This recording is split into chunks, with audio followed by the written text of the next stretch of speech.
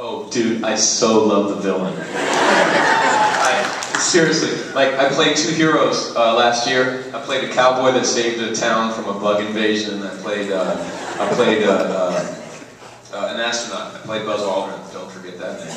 Um, and what I found out was when you play the hero, you're always running, and you're always sweating, and you always have to feel guilty about something. So you're always dredging up some childhood trauma. Whereas if you play the villain, you just lurk. just, you know, check out the shadows, and, and then the hero comes by and you smack him in the face, and then you go home. But the thing is, the only problem with the villain is you have to lose the end fight.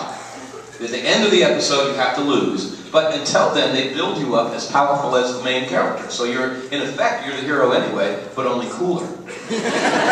like when I when I when I got um, when I got, uh, got on uh, uh, Torchwood, I, I called up my son and I was like, dude, man, I got the coolest character, man. I got two guns. I got a samurai sword, man. I got this time wrist watch. I can go anywhere in time I want, man. He goes, Dad, you win or lose.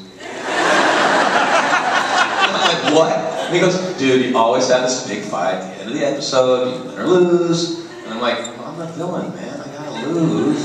It's like, what, do you, what else you got?